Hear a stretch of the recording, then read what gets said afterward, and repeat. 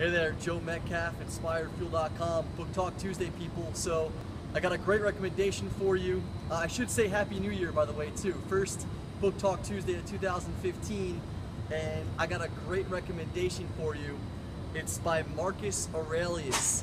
The dude was a Roman emperor back in the year 100, and he wrote a book called Meditations. It's his memoirs about life, how to uh, improve your life, and how to um, you know understand philosophy and spirituality, and um, you know how to just interact in the world with people. Very, very good book. I got so many, so many good things out of it. You're gonna love this book.